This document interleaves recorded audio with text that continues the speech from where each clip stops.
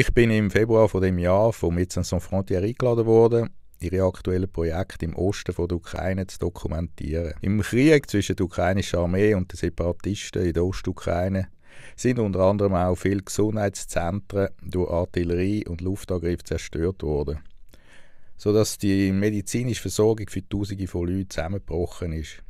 Médecins Sans Frontières betreibt heute sogenannte mobile Kliniken. Das sind Teams, die in dieser Pufferzone dürfen fahren, um dort die medizinische Versorgung der Bevölkerung aufrechtzuerhalten. Mit so einem Team bin ich jetzt da unterwegs nach Granitne, einem Dorf, das hat etwa 3000 Einwohner und liegt in der Pufferzone direkt an dieser sogenannten Kontaktlinie. während der Kämpfe 2014 hat das Dorf 214 Tage lang keinen Strom gehabt. Wenn das Team eintrifft, treffen sie meistens schon viele Leute, die warten. Die meisten von ihnen sind ältere Personen, die nicht mehr weg können, die kein Geld mehr haben, sich irgendwo schon niederzulassen und einfach müssen in dieser Zone, in dieser Gegend leben.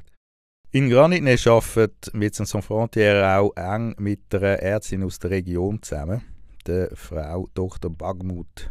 Frau Bagmut ist eine ganz bescheidene Person, aber sie ist die einzige Ärztin gewesen, die während dem ganzen Konflikt in Granit nicht weitergeschafft hat. Sie lebt mit ihrer Familie in einem Nachbardorf und sie ist äh, trotz dem Krieg die ganze Zeit, sechs Tage in der Woche, mit ihrem alten Velo arbeiten. 20 Kilometer durch Checkpoints und quer durch all die Bombardierungen.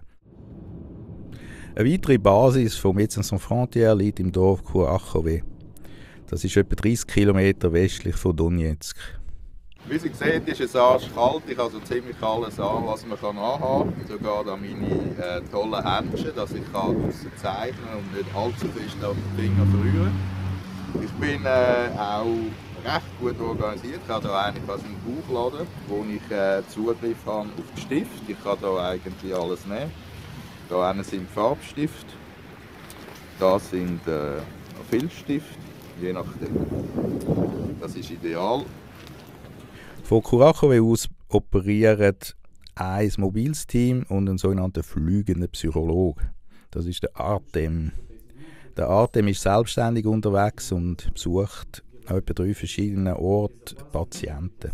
Neben vielen älteren Leuten hat er auch viele Kinder als Patienten, die an akuten Stress- und Angstsymptomen leiden. Auf dem Weg in die letzte Station, die wir besuchen wollten, sind wir auf einem gigantischen Feld auf einem Feldweg in einer Schneeverwehung stecken geblieben und dann trotz 4x4 müssen umkehren. So ist mir auch die ganze Situation in der Ostukraine vorgekommen. Irgendwie festgefahren. Aber dort kann man nicht mehr umkehren. Für die Leute, die da wohnen, eine Katastrophe.